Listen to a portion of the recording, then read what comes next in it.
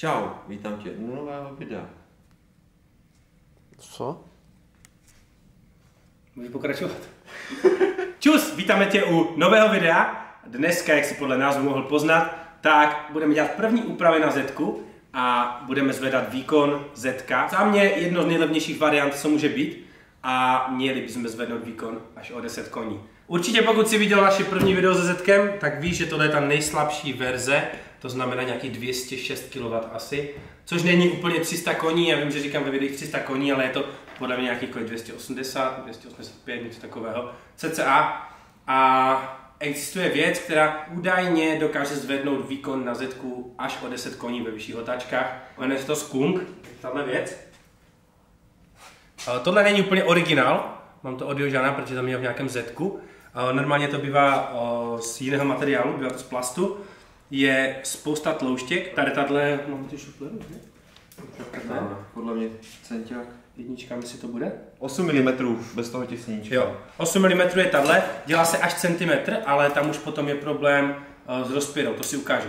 Každopádně tahle věc by měla zvednout výkon o 10 koní ve vyšších otáčkách. Je to podložka pod sání, mělo by to zvětšit objem vzduchu a tím pádem víc eh, nasavaného vzduchu. Samozřejmě pokud bychom k tomu dodělali časem i sání, tak by to zase tomu dalo dost, pokud to sání bude správně. Eh, ti ukážu, co jsem udělal já za chybu při mém prvním zetku a vymstilo se mi to. Takže dneska si namontujeme tohle, namontujeme si i sedačky, eh, které mám měl Peťa Matušík v mojem zetku bývalém. A namontujeme si ještě takový rám, který se dělá přímo do zetek, ať máš kam upevnit pásy, protože chci mít dost kořepiny pásy. A to bylo takové dnešní, dnešní jakoby první úpravy, co budeme dělat. Takže jdeme na to. Já jsem se rozhodl, protože Z je takový pojízdný tank a má problém s váhou. A už jsme dneska diskutovali, co všechno odlehčit, proto tam i dáváme sedačky, protože tahle sedačka je fakt mega těžká. Já dovezu váhu potom a budeme během celé série dávat kamo, kolik jsme ušetřili kilo. To znamená, kolik jsme vytáhli a kolik jsme tam dali zpátky a ten výsledek. To jsem fakt strašně zvědavý. Protože ta sedačka váží fakt hodně. Potom další nejtěžší věc na celém autě, zadní víko, to je prostě úplný mastodont. A dveře. Dveře jsem říkal, že jsem prodával Zetko, prostě jeden člověk ty dveře neunese, to fakt jako mazec. Ale říkali jsme, kdybychom chtěli udělat dveře, tak bychom si dát třeba karbonové nebo laminátové, ale v tu chvíli už potřebuješ rám, takže zase nabíráš váhu navíc a do toho se mi úplně nechce pouštět. Ale nejspíš zadní víko objednáme z laminátu a dáme tady polikarbonát. Nebo možná tu mříž vlastně s Peťa. Já bych chtěl strašně tu originál za kustech. Ona je krásná, ale je brutálně drahá. Takže myslím si, že tohle budeme odlehčovat uh, jako další, protože to je ta největší váha na tom celém. My jsme každopádně sedačku už vytáhli, než přijel kapřík, protože jsme to nemohli vydržet. Začal jsem tam i lakovat uh, držáky sedačky, protože je to skvělé, máme to plug and play, nemusíme se s tím srát, nemusíme tam nic vymýšlet. Prostě Peťa nám dal svoje i s konzolema, dáme je tam, máme hotovo, takže úplně super. Dokonce tady je ta rozpěra. Potom si to všechno projdeme krok po kroku. Je to, dává se to tam originál, je to přímo udělané tak, že to dáš vlastně do držáku pásu a tady to chytneš do toho spodního pláta a upevníš na to pásy. Je žlutá, my to necháme žluté, protože máme nějaké plány ještě a ty si ukážeme za chvilku. Takže jdeme si teďka na ty sedačky a budeme pokračovat dál. máme konzole uh, od Peti vyrobené a nastříkla jsem je montanou. Nechtěli jsme to nějak hrotit, jen jsem je prostě odmastil.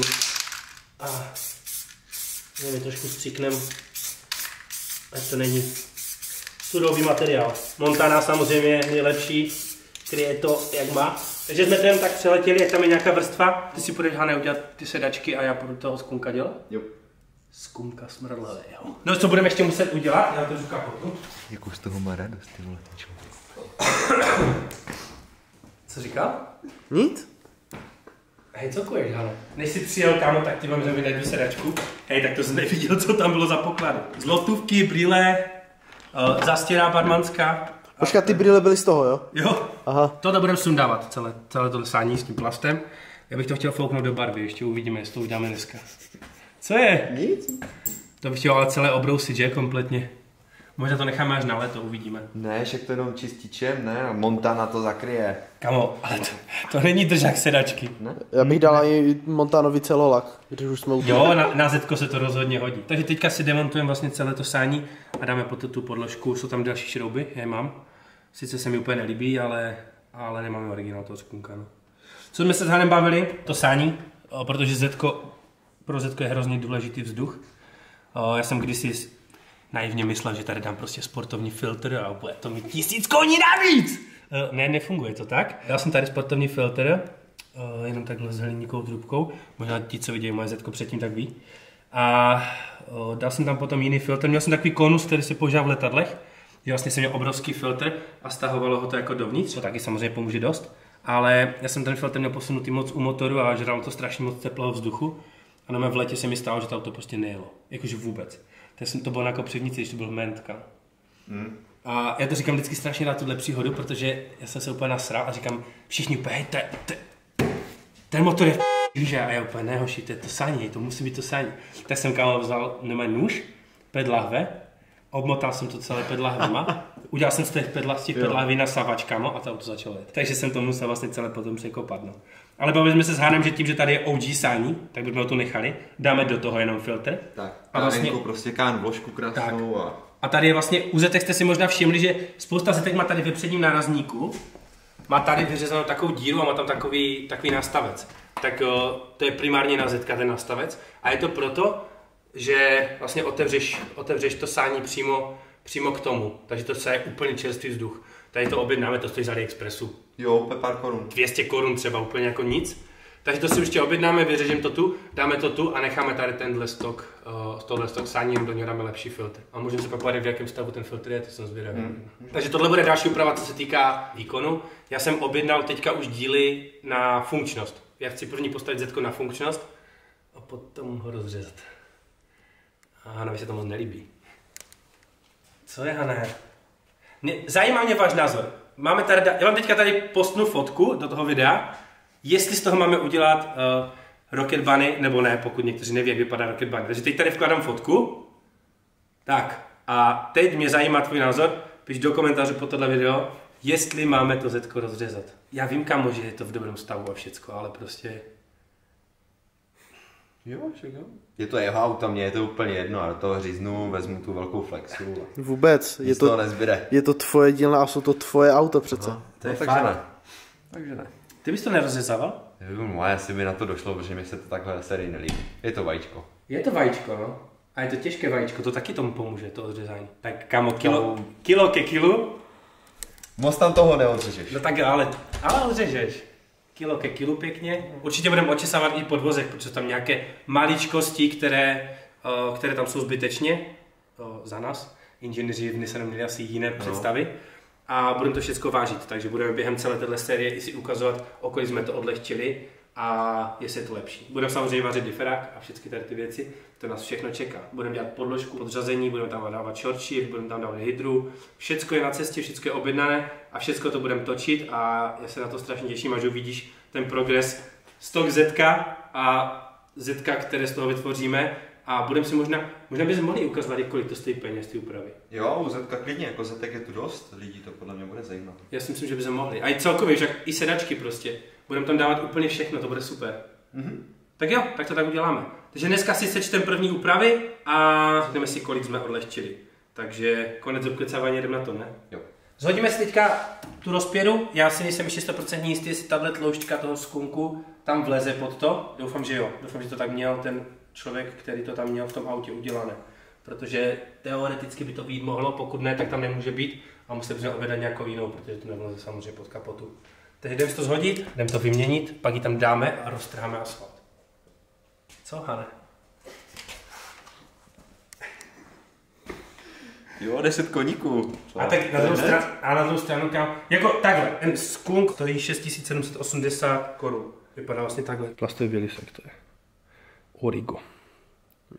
My ho máme z hliníku. A jmenuje Takže se to to, jsou ještě- Skunk 2 Plenum Space. Takže ještě další koní navíc, protože je to z hliníku. Ne z plastu. Um, to je další váha. Oj. Takže se to vyrovnává. Tak, Kruh se uzavřel. Skunk 2 Kit se to jmenuje. Tak jdem na to.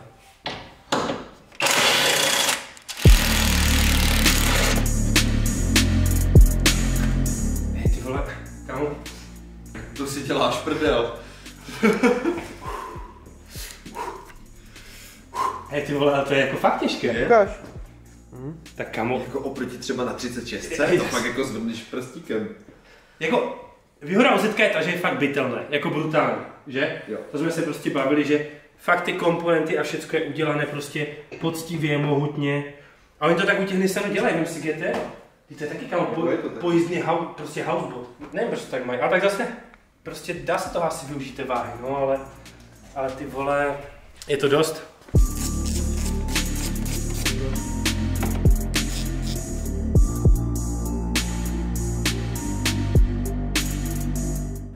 Právě jsme přišli na super zjištění.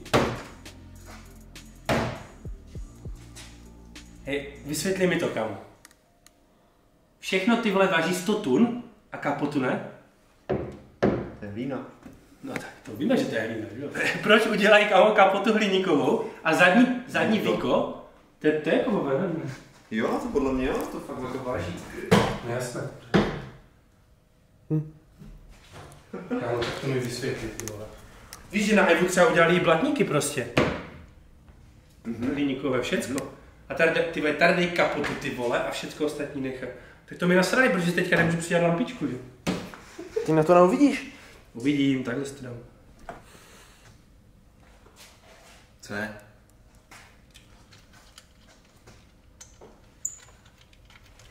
Polský inženýring.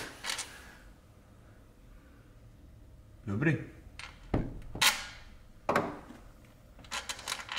To aby to bylo rychlejší, to už je připravené na drift.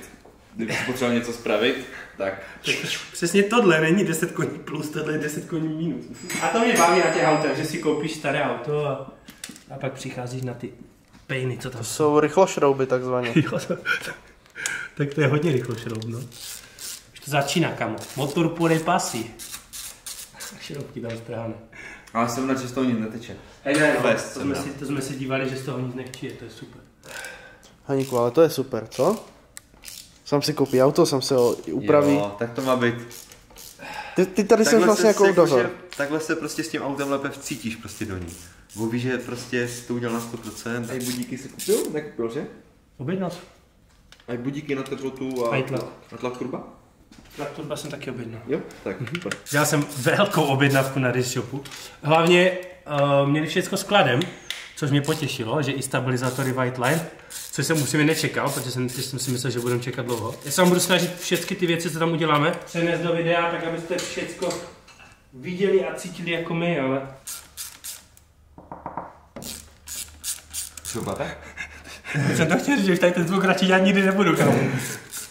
Mi někdo psal do popisku, uh, že jsem psal, že to je spolehlivý motor a někdo tam psal, no, že moc spolehlivý není. To, že ty jsi měl štěstí, tak to neznamená, že jsou spolehlivé, ale ty jako ten Peťův motor, co má, nebo ten můj motor, co má teďka Peťa kámo, to je fakt držák. A já si myslím, že tohle, tohle bude taky.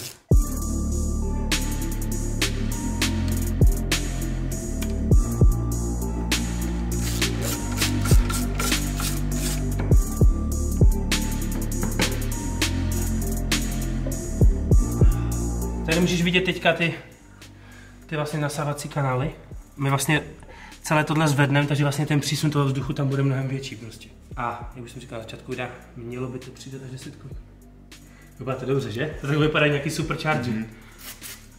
Aspoň trošičku toho čistíme, kdo ví, kde to leželo. Chápeš, kdyby tam byla mikročástice prachu, tak to bude, Právě tak to bude sát falešný vzduch to a... bude jenom 9 koní. Jo. Tak, a teďka otázka, jak to tam přijde. Výkuz je Opa. tady, výkuz je tady. Chceš to přizvednout? Aha, prosím, jestli můžeš.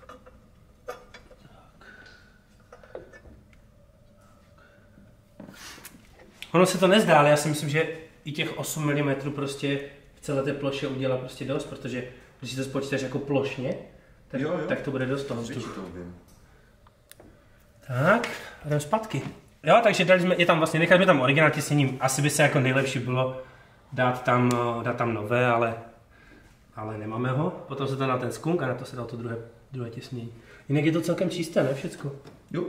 Tam nemám moc, co by se zajebalo asi. Vypadá to stylově, kámo, to je dobré, jak chci. Také ledviny. Mhm. Moc, moc se mi to líbí. No nic, pojďme. Já už chci totiž rozstát ten asfalt. No jasně. Asi tu estetiku budeme fakt řešit, až prostě někde, až bude teplo. Uděláme si grilíček, hodíme to všechno do laku, tam to dáme do laku, Dělá se to v letě. Teď je stejně pro mě fakt priorita ta funkčnost. Tak, máme tady ty dlouhé, ty podle mě ty nejdelší jsou z toho, z toho víka, aha. Tak jo, máme hotovo. Jak jsem říkal, estetiku budeme řešit až, až někdy jindy. Některé šrouby jsme tu museli dát jiné, možná, možná potom pohměňujeme tyhle, je to stejné, ne všechno. Tyhle všechny jsou stejné, a tady tyhle, tyhle tři ne. Uvidíme. Uvidíme to, když tak ještě dořešíme. Jinak takhle to můžeš vidět, jak to vypadá. No, zvedlo to tady o těch 8, 84, že tam bylo nebo něco. A zkusíme teďka schválně tam dát tu dospěru, jestli nám to tam vleze. Chvilka pravdy. Ej, kámo, pojď sem. To. Jasně, šéf, já jsem tu proto. Sice se ti zase sedu do videa a snad tam bude ty to je tak těžké. Pryč s tím. Ulez, že? Tak. A je tam. Takže to někdo kamo dělal přesně tak, aby to vyšlo. No, Je tam. A, trošku to pruží, že? Co, vypodložíme to? jedině. A nebo to zkusíme, jestli se to nefitne? Ne, ne, ne, ne. To bude tlačit, že? To bude no? tlačit na motor a to by mohlo být problém. Tak co teď? Objednáme jinou? A to stejně nevíde. A nebo vyřeším kapotu. Tak ono stačí, jako kdyby jsme to fakt podložili prostě pod Jo, ale jestli to pak vyjde tady, víš. Jo, tak to nebude tak. Tak tam dáme prostě nějaké hezké podložky. no? No, akorát já si nebudu mít tak. Já to říkal. Mně se tohle totiž stalo, že Nevadí, uh, zítra koupíme podložky, no. Nemáme jich dostatek, takže zítra koupíme podložky. Asi lepší, než kupovat nějakou druhou, druhou rozpělou celou. No. Tak, tu schováme sem. OK, takže první úprava, kterou jsme tam udělali, tak je uh, ten skunk. Originál stojí 6780. Tenhle homemade. Kolik dáme cenu Hane za ten homemade? 3,5? Čtverku? Hmm. OK, takže první investice 3,5 tisíce korun plus pár šroubků 20 korun, takže 3520 korun máme teďka. A jdeme pokračovat. Zatím jsme nic neodlehčili, jenom jsme přidali váhu. To- Odlehčili jsme to o tu spěru v tuto no, chvíli. Tu tam, za, tu tam za chvilku vrátíme. Ale jo, já jsem si všiml, kámo, že některé věci jsou zastříkané a to bylo tím, jak to bylo lakované. Hmm. Ale to je jedno. Budeme si to pak projet schválně, jestli tam bude takový ten uh, psychologický, uh, psychologický věm toho, že jsme tady zapomněli dát Matík. Placebo efekt. Placebo efekt uh, koní navíc. Každopádně přijel nám tady Randolph a Lloydy po dlouhé době. Kde jsi byl Lloydy? Ty jsi byl nezvistný? V práci jsem. Já furt jenom pracuju. Jo, jo. No. Ty myslíš mi Musím jít na peněz. sezonu, ne? A na teplo, tady se chodím ohřívat. Já, já, si, já si myslím, že je to trošku jinak, ale, Ale- to tady rozebírat. Ale to- Uh, každopádně, Helikopter, helikopter! Kamo, to tam musíš nechat. Ne, asi. tak, jdem pokračovat. Já jsem na starosti skumka, Han má na starosti sedačky. A jsou vlastně teda, jak už jsem říkal, úplně hotové, Pět jenom to dal úplně celé, takže to je jenom plug and play. Jsou to Micra XL, je to vlastně hodně podobné jako Races sedačky. Já je mám vlastně ve 46 všude, že ty, ty, ty Races. Jo. Oni, oni, vlastně spolu nějak kooperujou, že když si koupíš Races sedačku, tak jakoby prostě to dělají v kooperaci s Mikrem. Takže jsou i homologované všecko. Tohle jsou ty XL, ty větší, já jsem tam měl menší tehda, Petě je prodal a koupil si vlastně ty samé. Takže teďka tam namontujeme sedačky, vymontujeme ještě tu druhou, pak skočím pro váhu, zvážíme to a půjdeme zkusit ty koně. Jo, ještě ten, pa- ještě ten eh, bar na ty pásy tam dáme, že? By to možná mohli stih- stihnout ještě. Co? Tak, jdeme se pár na tu druhou sedačku. Po tou první byl docela poklad, eh, ovladač od rádia. Jsem ještě v životě nepoužil. A pod tou druhou byl docela poklad, my jsme to všechno vysáli už, ale bylo to toho dost. Tady je i Boss uh, audio systém, uh, DVDčko na navigaci, tady je navigace a všechny tady ty věci. Uh, je tu i basák samozřejmě dodělaný a já nevím, jestli to tu upřímně jako potřebuju a chci. Tady je vlastně jakoby Boss originál basák, oni to tam dodávali uh, do vybavenějších verzí, to jsme si říkali v minulém videu. Já jsem to dost minulého zetka těžce dokupoval a stejně to tam ani nenamontoval a, a tady to nakonec vlastně vymontuju možná. Všechno jsou to totiž co? Kila navíc. A ty my nechceme. Takže jdem vytáhnout tu druhou kovadlinu. Jako co cením, tak je to, že jsou vyhřívané a elektrické. Ale, co to tu máme? Hmm. Hmm. Je! Renďo, máš do mě dárek tady.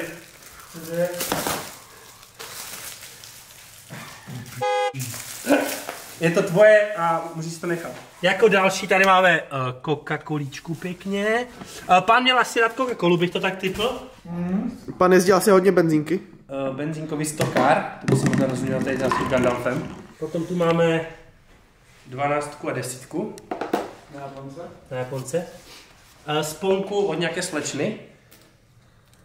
Hm. A to vypadá jako všechno. Máš odpovědět ty kable? No právě, že se snaží.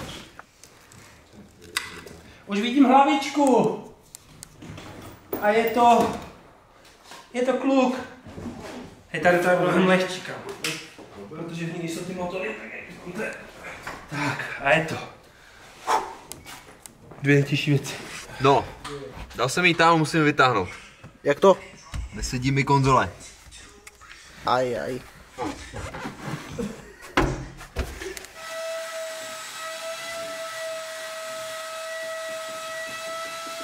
Rozhodl jsem se, že budu opravdu bojovat s každým kilem, proto vytahujeme ten basák. Uh, Zjistil jsem, že tu je dodělávaný, takže si ho tu podle mě nejspíš bývalý majitel nebo někdo dodělal. A stejně tu potom udělal ten sound system. A Han se na mě díval se sklopenýma očima. Já jsem mu říkal, jdeme po kile, Hane. Takže první věc, kterou vytahujeme basák, uh, Bose originál. Kdyby ho někdo ze zetkářů chtěl, klidně mi pište, vymyslíme nějakou úplně super cenu a je váš, protože já ho nevyužiju. Možná i kdyby někdo chtěl ten navigační systém celý, uh, tu CD-romku a tady tohle, tak uh, napište nějakou cenovku a nějak to vymyslíte. Chtěl bych jenom říct, uh, že to muselo basovat jak svině. Ne. Jo, pokud někdo z zetkařů chce, tak pište uh, do komentářů pod video, nebo na Instagramu třeba a nějak to vymyslíme. I ten navigační systém bude na prodej, pokud by ho někdo chtěl. A je to. Kilečko ke kilečku a ze zetka je papír. Tak já jdu pomalu připravovat tenhle, uh, dejme tomu pracovní název Bishbar na, na pásy. Přijde to do originál uchycení pásu a tyhle spotky přijdou do děr, co jsou v kastli. Akorát kompletně celá kastle je vylepená tou protihlukovou folií, asi jako kvůli sound systému. Je to váha navíc a je to úplně po celém kufru. Takže uvažuji, že to pak časem vyškubem všecko, nebo to tam necháme, no. Uvažuji, že ten basák bych možná schoval tady dolů, ať tam je trošku víc prostoru. Protože já jsem byl vždycky naučený, že když jsem chodil jezdit s Zetkem, tak eh, tady se mi vešly kola, tady se mi... Jak to bylo? Dolů jsem dal zvedák, ne, dolů jsem dal kolo, zvedák, kolo a tady jsem dal kolo ještě. A bordel. A když to bude ten basák, tak to nevíde. Ale stejně ho asi dáme pryč. Ale to uděláme až, eh, až přijde víc těch dílů, eh, co tam budeme na tom dělat. Jinak baví mě, že Peťa to měl vlastně žluté celé a já to nechám žluté. Uděláme to červeno, žluté a víc ti zatím neřeknu. Takže tohle bude první žlutý doplněk v tom autě. Jdem na to. Musíme tam vyřezat kousek těch odlučovacích folí, aby jsme se dostali k těm dírám na ty chyty toho spodku. A budeme to namontovat. Je to plug and play, takže je to úplně... Já ti ukážu, jak je úplně easy tam ten, ten uh, bež dát. Já jsem udělal jenom část té odlučňovací hmoty, která mě upřímně trošku sere, protože to je fakt váha navíc. A vidíš, tady jsou přímo, tady je přímo udělaný závit, takže vlastně to je jenom plug and play, protože tam je dírka, takže to přiděláme vlastně tady, tady a máme hotovo. Nic se nemusí vrtat, nic se nemusí dělat. Máme tady parádní rám potom na uchycení pásu, což je super. Takže vyřížím si ještě druhou stranu a jdem to tam namontovat. The next day. Tak jo, je tady další den, máme sedačky namontované, hotové, máme přitěhaný i ten zadní bar, máme tady dané pasy, zatím mám fialové races, jel bych tady nejspíš žluté races, ale ty nejsou teďka skladem, ale kluci říkají, že by měli brzo přijít. Jinak eh, ten poses je samozřejmě mnohem lepší. My máme tu sedačku ustavenou úplně dole, klasika, jak u mě to je zvykem. Já si asi ještě stejně vykuchám ty polštáře. Uh, ta spolistova nešla tolik dozadu a tolik zaklonit, jako ono to asi nevadí, no. No každopádně, budeme si teďka zvážit ještě ty stávající sedačky.